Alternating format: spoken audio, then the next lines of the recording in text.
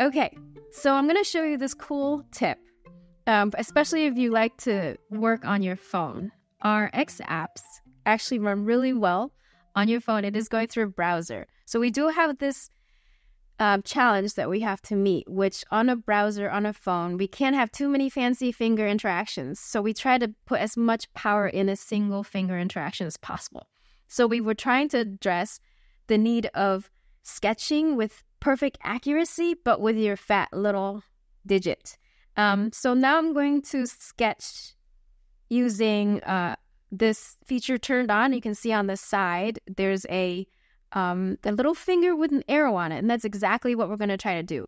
I'm going to sketch this circle, and you can see that there's a arrow that just appears right above my finger. And uh, that gives me the accuracy of a mouse cursor. And now if I add another rectangle, and let's say I need this rectangle to have some sort of relationship with this circle.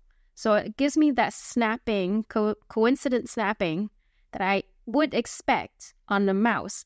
But if uh, my finger was right over that zone, you would not see that interaction.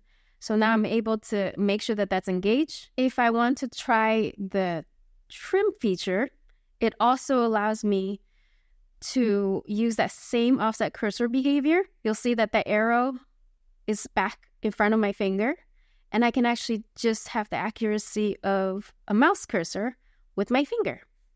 And when I'm done, or I'm not done sketching, I can also add more things to it. So just like you would with a mouse, you can interact with a lot of these cool features. There you go.